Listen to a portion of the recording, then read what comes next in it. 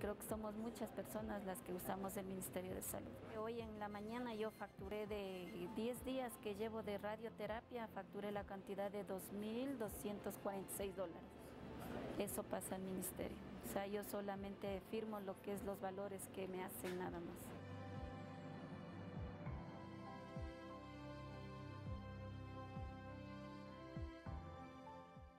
Además del medicamento, el Ministerio de Salud Pública brinda la atención integral de pacientes que sufren estas enfermedades, incluyendo la atención psicológica, rehabilitación y cuidados paliativos.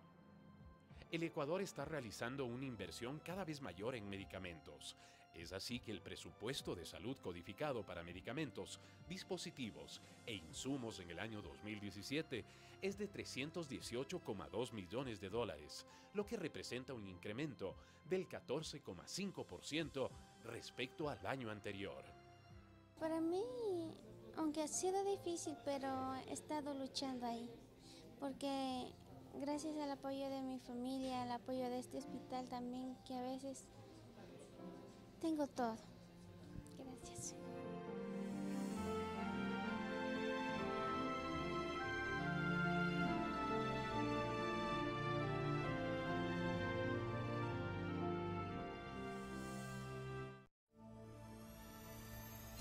Usted está viendo Tele Ciudadana, tu voz, tu país.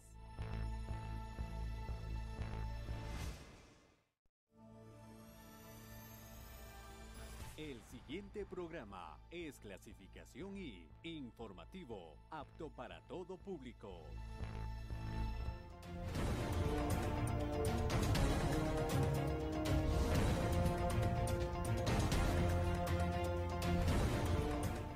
Amigos, amigas televidentes, muy buenos días. Como siempre, gracias por acompañarnos a esta hora en la primera emisión de su noticiero ciudadano para este viernes 28 de julio. Bienvenidos y bienvenidas, un abrazo y un saludo fraterno a nuestros migrantes que nos miran en Italia, España, en Londres y en diferentes rincones del planeta a través de la señal de Tele Ciudadana perdón, a través de nuestro portal www.elciudadano.gov.es. Y también dentro del país nos puede mirar a través de la señal de Tele Ciudadana, canales 48 y 49 a nivel nacional. Bienvenidos y bienvenidas nuevamente. Iniciamos con la revisión de los titulares.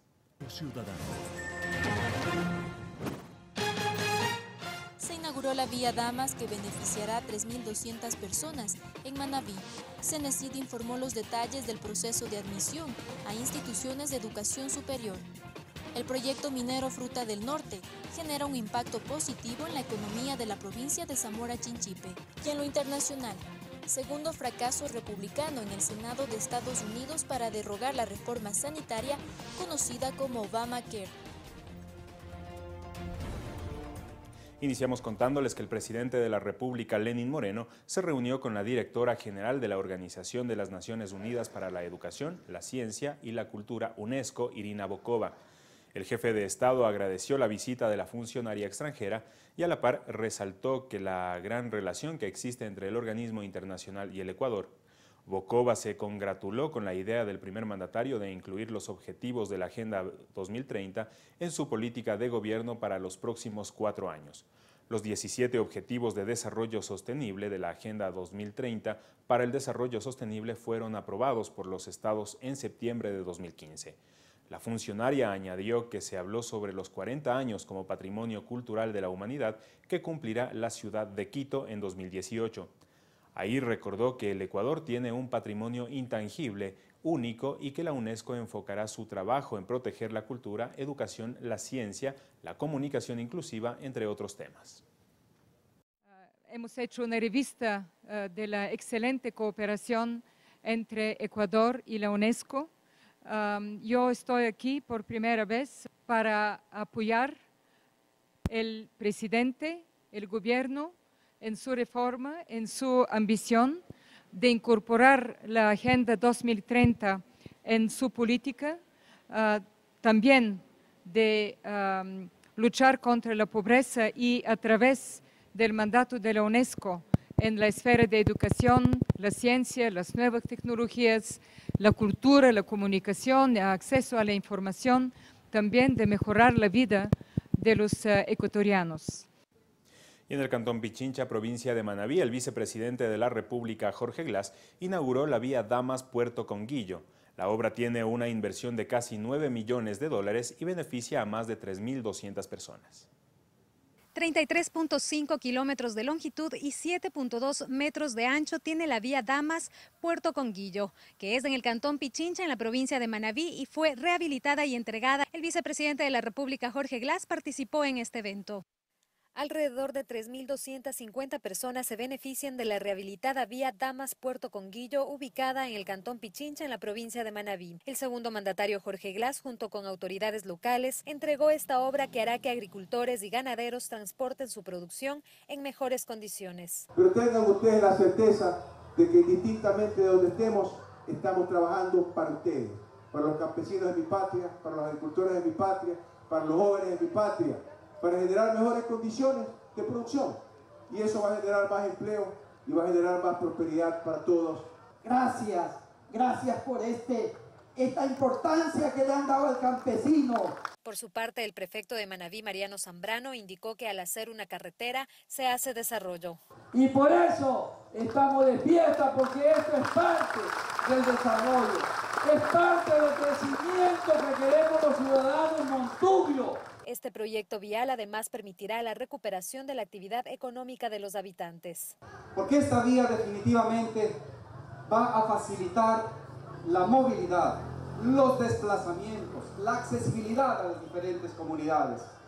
Y esto generará turismo, generará emprendimiento, generará mayor eficiencia para sacar los productos Además, el vicepresidente destacó que al tener 10 kilómetros de carretera de primer orden, representa para los ecuatorianos 1.300 millones de dólares en ahorro por año.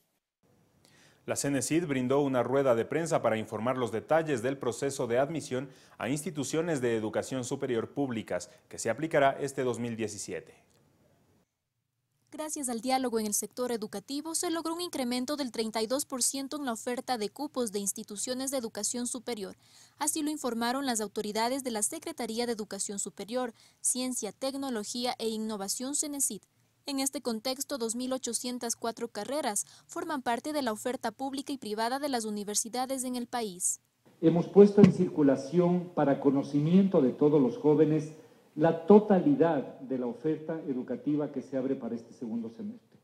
El día de hoy, con el periódico El Comercio, que es precisamente el de mayor circulación en la sierra, pero además les quiero informar que en la página del CENESID, en la página Ser Bachiller y luego, como veremos, de un aplicativo app, todos los jóvenes van a poder integrar y van a poder conocer, informarse en detalle del conjunto de esta oferta.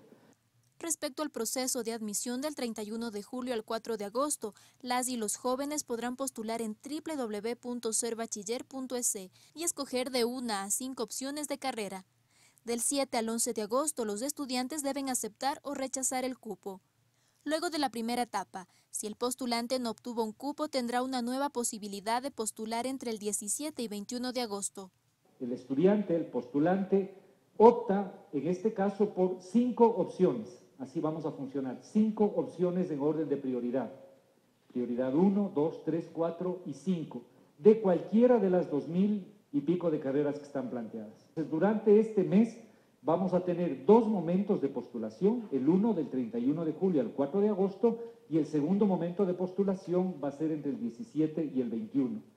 De acuerdo al titular de la CENESID, Augusto Barrera, los estudiantes que no logren obtener un cupo podrán acceder a un proceso de nivelación pues es importante recalcar que los puntajes más altos tendrán mayores oportunidades de acceder a un cupo. Los mecanismos que vamos a tener son este suplemento informativo, este suplemento además de en periódicos, lo que vamos a tener es en los puntos de atención ciudadana, vamos a tener en hospitales, vamos a tener en varios lugares, en los puntos de la propia Secretaría y vamos a tener aplicativos, tanto tutoriales, la página web, etcétera, y también un app a través del cual cada uno puede bajarse telefónicamente. Enseguida vamos a presentar ya el demo y este tipo de productos. Eso va a permitir que los postulantes y sus familias tengan la más completa información para poder hacer una elección adecuada. Los jóvenes graduados de tercero de bachillerato con mayor puntaje en el sistema escolar público tendrán acceso preferencial a la educación superior. Caterina Morejón, Noticiero Ciudadano. Y el primer laboratorio de investigación e innovación en educación para América Latina y el Caribe se presentará oficialmente este viernes 28 de julio. Su director nos explica su objetivo. Este es el tercer lanzamiento que tenemos en América Latina de este centro que es una iniciativa realmente inédita eh, para la región. Esto nació de la voluntad de los propios países, eh, estoy hablando principalmente de Ecuador, pero también Brasil, Uruguay, Chile, Perú, eh, Colombia y México. El objetivo de Suma es principalmente eh, mejorar la toma de decisiones en torno a las políticas de educación y por lo tanto a nivel más macro y estructural de la reforma, pero también enfocado a nivel del aula y por lo tanto también nos estamos enfocando en cómo mejoramos la toma de decisiones que hacen directores o que hacen profesores a nivel del aula. Y para hacer eso lo que hacemos es básicamente promover la investigación para generar conocimiento estamos también abriendo espacios de experimentación. Lo que buscamos es fortalecer lo que cada país y cada sociedad va definiendo. Lo que sí, y en ese sentido tienes toda la razón, de que lo que estamos buscando es crear una plataforma de intercambio de políticas, de intercambio de investigación, de intercambio de innovaciones, pero entendiendo que cada país está viviendo hoy día claramente un proceso político, económico y social propio. El proyecto minero Fruta del Norte genera un impacto positivo en la economía de la provincia de Zamora Chinchipe. Conozcamos más detalles en la siguiente nota. A través de una inversión de 9,3 millones de dólares, la empresa Londingol, operadora del proyecto minero Fruta del Norte, facilitó la adquisición de bienes y servicios a 162 proveedores de Zamora Chinchipe, favoreciendo de esta manera la economía local de esta provincia. Esta cifra responde a una de las estrategias de la empresa, que incluye un programa subsidiado de precalificación y certificación para pequeñas empresas con valor agregado. Otro de los ejes en que trabaja la empresa minera junto con el Estado ecuatoriano y las comunidades de la zona es el fortalecimiento del talento humano. Un ejemplo es el programa de bachillerato extraordinario en la parroquia Los Encuentros, que beneficia aproximadamente a 200 estudiantes jóvenes y adultos. Caterine Morejón, Noticiero Ciudadano. Cuatro detenidos y más de 2.000 celulares incautados dejó el operativo Fortaleza 25 desarrollado en varias provincias del país de forma simultánea. En esta acción, se, esta acción se la realizó en apoyo a la iniciativa de la Comunidad de Policías de América, Ameripol. Mediante una rueda de prensa, el director nacional de la Policía Judicial, Nelson Ortega, informó sobre los resultados del operativo Fortaleza 25, realizado en Guayaquil, Quito, Santo Domingo y Esmeraldas. Este fue un operativo eh, eh, direccionado a través de Ameripol, bajo la Estrategia Nacional de la Policía Judicial, y se ejecutaron en algunos países el mismo día. La misma guarda relación con una política operacional proveniente desde la Secretaría Ejecutiva de Ameripol, la cual se convirtió en una estrategia operacional de la Policía Nacional. Ortega indicó que hasta el momento se han intervenido 310 locales comerciales, en los cuales se incautaron varios teléfonos y computadoras que no fueron debidamente justificadas. Como resultado de esta magna operación policial efectuada en todo el país, hasta el momento cuantificamos la aprehensión e incautación de 2.000 124 terminales celulares, 180 dispositivos tablets y iPads.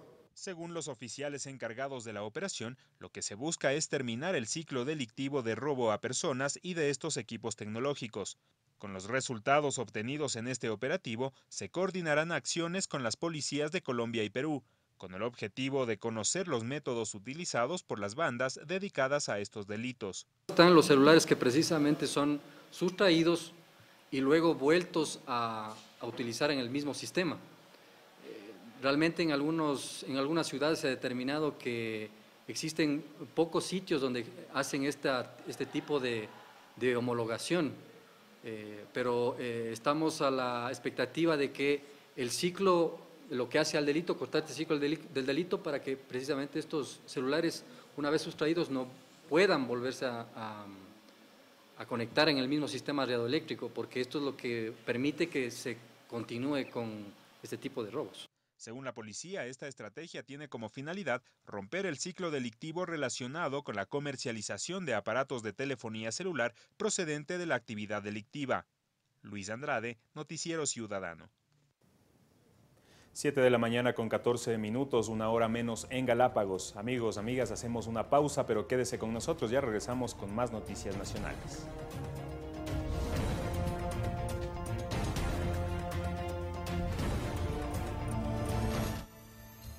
Inicio de espacio promocional. Muy pronto, por la señal de Tele Ciudadana. Construyendo Igualdad, un programa donde abordaremos temas de salud, derechos, educación, deporte y más para las personas con discapacidad y sus familias, porque la discapacidad es parte de la diversidad. Construyendo Igualdad.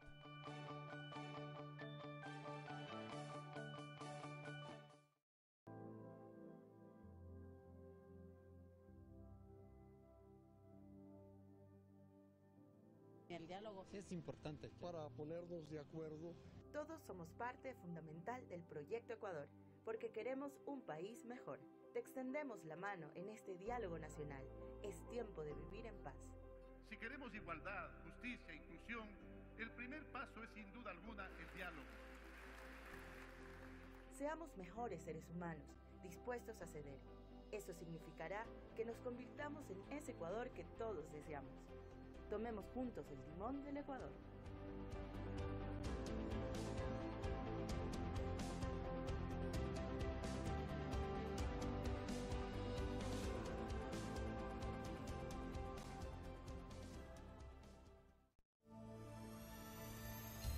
Fin de espacio promocional.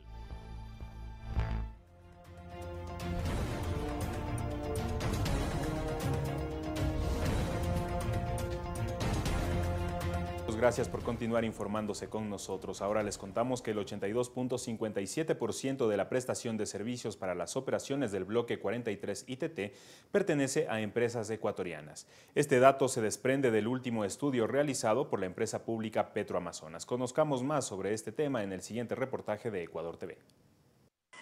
Petroamazonas EP es la institución que al momento desarrolla explotación petrolera en el bloque 43 del ITT según datos del Ministerio de Hidrocarburos, la producción del campo Tiputini bordea hoy por hoy los 51 mil barriles diarios de crudo. Para los trabajos petroleros en esta zona de la Amazonía, Petroamazonas EP acudió a la industria nacional para desarrollar la construcción de los campos, que implica además desarrollo de ingeniería, paquetizaciones y en general prestación de servicios. Según Hidrocarburos, al menos el 82.5% del total de acciones encomendadas para el desarrollo de la explotación petrolera en el ITT está en manos de la industria nacional, por un monto que llega a los 160 millones de dólares ya que nosotros debemos a la industria nacional como nuestros aliados. Son nuestros socios estratégicos en todo el desarrollo del proyecto, en todas sus fases, en la fase de ingeniería, en la fase de procura, en la fase de paquetización de equipos y obviamente en todas las actividades constructivas. Son alrededor de 17 empresas nacionales que colaboran con Petro Amazonas en lo que respecta a la prestación de servicios, proveedores de bienes y materiales, fabricación de contenedores y construcción en sí de los campamentos. Porque los contratos al comienzo de la historia no eran para empresas nacionales, eran para empresas extranjeras. ¿Sí? Pero las empresas extranjeras o contrataban a los ingenieros o contrataban a las empresas nacionales. Entonces poco a poco nos fuimos nutriendo de eso y peleando para que nos den un espacio ya no como subcontratistas, sino como contratistas. Que nosotros hemos crecido bastante eh, paralelamente al crecimiento de, de Petroamazonas también. Durante los, años anteriores, eh, eh, en particular nuestra empresa ha invertido mucho en tecnología, según datos del Ministerio de Hidrocarburos, la producción de Petroamazonas EP es de 430 mil barriles diarios con un costo de producción de 16 dólares con 96 centavos por barril y de operación de 6 dólares con 89 centavos. La Organización de Estados Americanos OEA felicitó a Ecuador por el fortalecimiento de la democracia, tras conocer el informe de observación electoral sobre las elecciones generales desarrolladas en el país. El Consejo Permanente de la Organización de Estados Americanos, OEA, recibió en la sesión ordinaria de este miércoles el informe de la misión electoral sobre las elecciones generales en Ecuador del pasado 19 de febrero y del 2 de abril. en el que se destacó el profesionalismo, transparencia y pluralismo con el cual se desarrolló el proceso. La misión destacó y felicitó la apertura del Consejo Nacional Electoral para abrir espacios de diálogo con las organizaciones políticas, la respuesta efectiva frente a las recomendaciones de la misión, la implementación del voto en casa para las personas mayores de 65 años y ciudadanos con alguna discapacidad. Además, la iniciativa de publicar para consulta de la ciudadanía todas las actas procesadas en la página web, transparentando el proceso a la par de reconocer los esfuerzos efectuados por el gobierno ecuatoriano para continuar perfeccionando el proceso electoral en dicho país, la MOE ha efectuado una serie de recomendaciones valiosas y aplicables, si no a todos, a muchos de nuestros estados. Los delegados de la OEA centraron su trabajo en un análisis del proceso como organización y tecnología electoral, análisis político y legal, financiamiento electoral, equidad de género y justicia electoral. Además, en el informe el organismo criticó el clima electoral. En el documento se afirma que hubo ataques al CNE y al Tribunal Contencioso Electoral por la depuración del padrón electoral, donde la oposición enfatizó en personas fallecidas dentro de los votantes. Sin embargo, la misión resaltó la transparencia y apertura del CNE.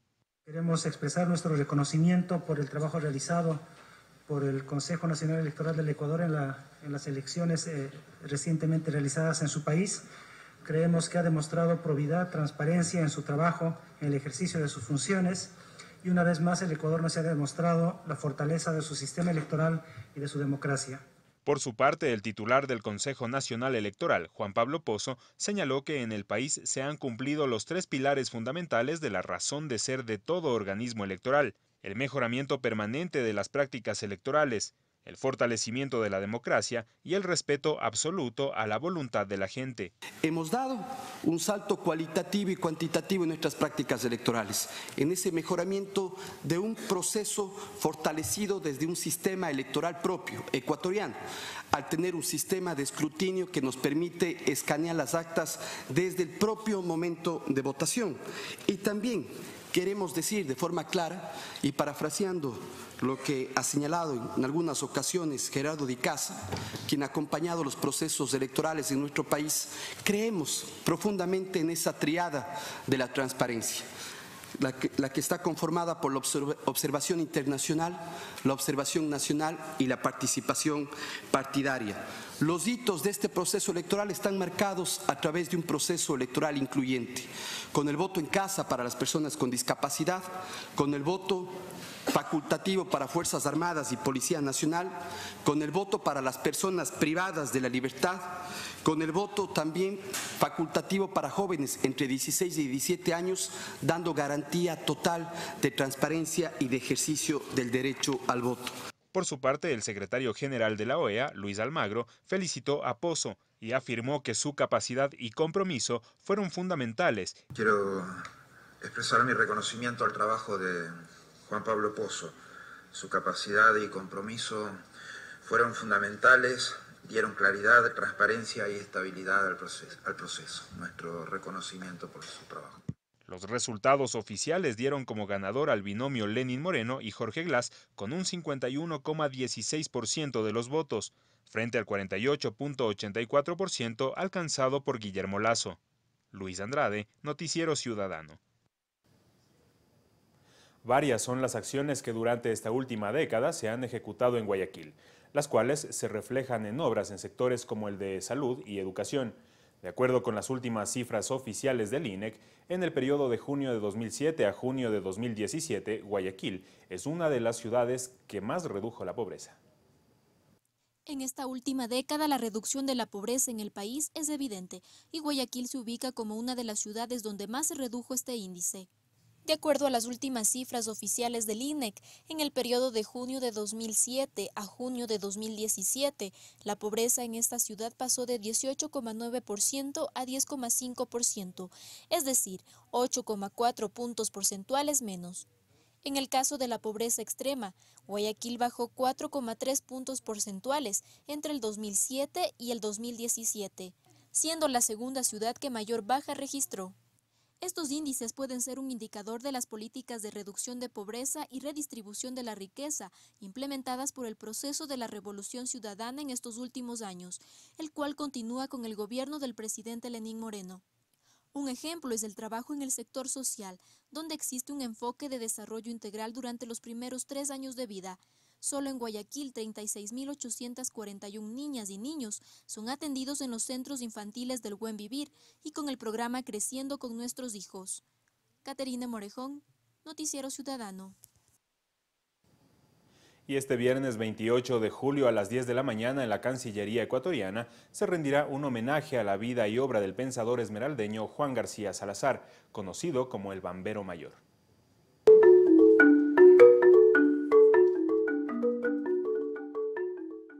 Juan García Salazar, no solamente para el pueblo afroecuatoriano, sino para todo el país, representa uno de los más grandes históricos personajes en cuanto a la reivindicación de los derechos del pueblo afroecuatoriano.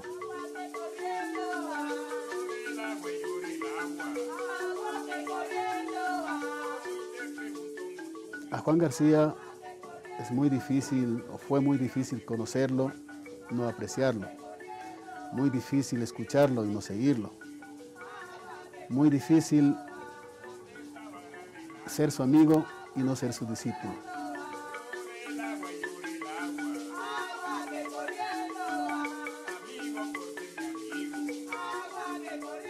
Fue, y como se lo conocía, el maestro de muchas generaciones aquí en el país,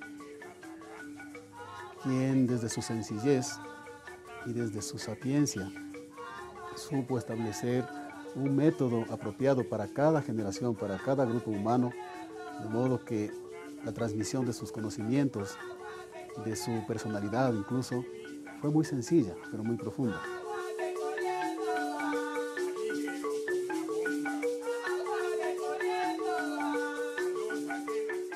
Si bien ha desaparecido su, cuerpo, su conocimiento, su espíritu queda en todo el Ecuador, queda en todo el pueblo ecuatoriano, queda en Latinoamérica y en toda la gente que le conoció alrededor del mundo.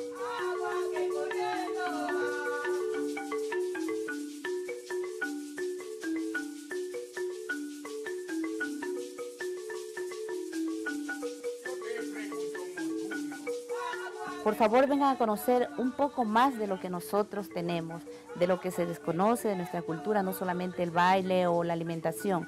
Tenemos mucho por contarles, mucho porque ustedes conozcan y realmente va a ser un gran placer para nosotros de que vengan.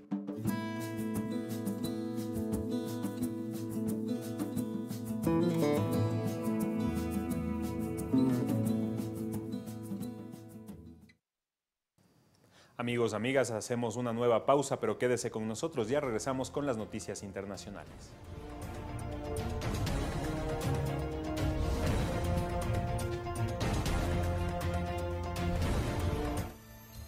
Inicio de espacio promocional.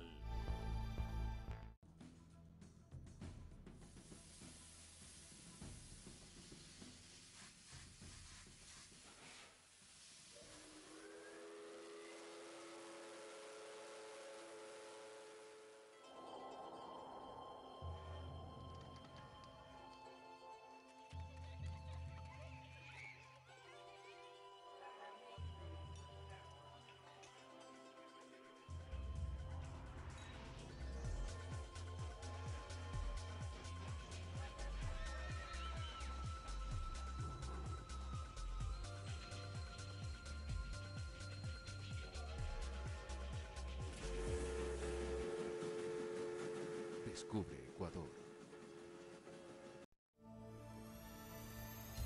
Fin de espacio promocional.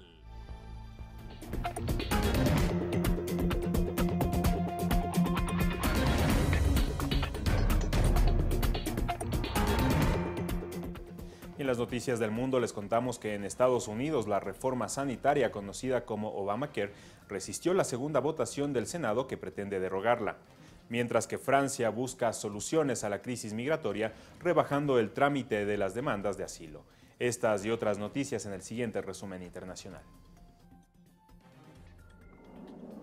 Dos votos Dos derrotas. El Obamacare, la reforma sanitaria hecha en 2010 por Barack Obama, resiste. En la segunda votación en 48 horas en el Senado, los republicanos, que son mayoría en la Cámara Alta, han vuelto a fracasar en su intento de desmantelar la ley sin reemplazo, lo que dejaría a 20 millones de estadounidenses sin cobertura médica.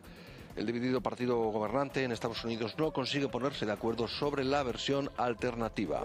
Así que la alegría de Trump ha durado poco. Justo después de que el martes el Senado aprobara el debate sobre la derogación, decía que Estados Unidos estaba más cerca de liberarse del desastre que es el Obamacare.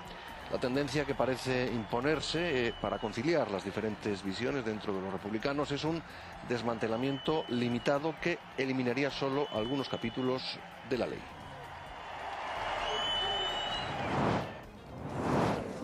Emmanuel Macron busca soluciones a la crisis migratoria. Una ceremonia de nacionalización en Orleans ha sido el lugar elegido por el presidente francés para avanzar en la acogida de refugiados. Según ha dicho, no quiere ver a ningún inmigrante por las calles antes de final de año. La decisión incluye rebajar el trámite de las demandas de asilo de los 18 meses actuales a 6 y crear albergues de emergencia. También busca la distinción entre refugiados e inmigrantes económicos, con los que habrá mano dura. Yo seré tajante con el derecho de asilo, ha dicho Macron por Twitter. Aquellos que estén en peligro deben ser acogidos. La iniciativa se extiende también fuera de las fronteras francesas. El jefe de Estado quiere crear centros de identificación en Libia donde asegura que hay entre 800.000 y un millón de personas esperando para embarcar hacia Europa. El objetivo es evitar poner en riesgo a aquellos que quieren alcanzar el viejo continente y que no van a poder obtener el derecho de asilo. Fuentes oficiales han asegurado en cualquier caso que esta medida no será posible hasta que las condiciones de seguridad garanticen su viabilidad, algo que por el momento no ocurre. Amnistía Internacional ha criticado la idea al considerar que los demandantes de asilo están expuestos a violaciones de los derechos humanos. Quien sí ha recogido el guante de Macron ha sido la Comisión Europea, que se ha mostrado dispuesta a abordar la propuesta, aunque aseguran necesitar un poco de tiempo para conocer los detalles. La Policía Federal brasileña detuvo el jueves al expresidente de Petrobras y del Banco do Brasil, Alemir Bendine, informó la Fiscalía General. El arresto tuvo lugar en el marco de una nueva fase de la Operación Lavallato, que investiga una multimillonaria red de sobornos en la petrolera estatal. Tres personas fueron detenidas en el operativo. Bendine dirigió el Banco do Brasil de 2009 a 2015 y presidió Petrobras desde febrero de 2015 hasta mayo de 2016. La operación Lavallato reveló la existencia de un esquema de pago de sobornos de grandes constructores a políticos y partidos para obtener contratos en Petrobras. Decenas de altos dirigentes de casi todo el arco político y de encumbrados empresarios han sido condenados o están investigados desde el inicio de las investigaciones en marzo de 2014. Amigos, amigas televidentes, de esta manera llegamos a la parte final de la primera emisión de su noticiero ciudadano. Agradecemos a nuestro compañero Cristian Viveros, quien realiza la interpretación de lengua de señas. Más información hoy a la una de la tarde. Que tengan un excelente viernes. Hasta pronto.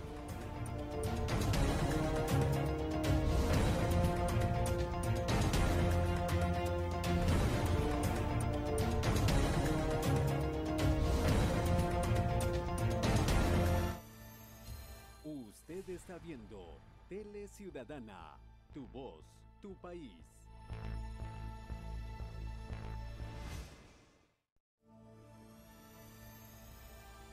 El siguiente programa es clasificación y informativo, apto para todo público.